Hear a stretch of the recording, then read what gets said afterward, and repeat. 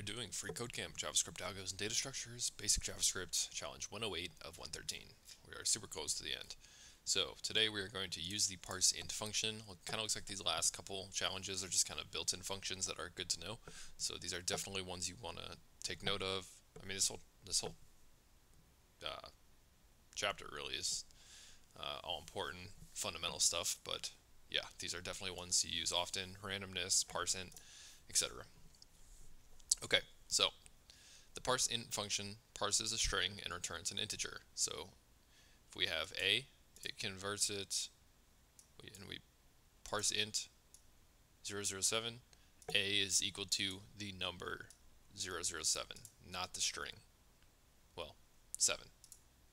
The integer 7, because 007 is 7. Um, so yeah, we're going to use parse int to convert an integer in a function uh, that takes a string input. So we have a string input and we want to convert it to an integer. This is very simple. We're simply going to return parse int capital I string. That's all we had to do for that one. If we um, console.log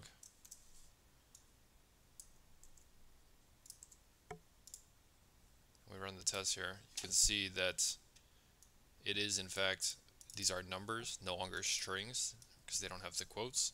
Um, data type conversion is pretty important, definitely something you'll use pretty commonly. And uh, as you can see here, in the case of strings that are not numbers, it returns NaN, meaning not a number. So, yeah, that's all we have to do for this challenge. Hope that helped. Hope to see you guys in the next one.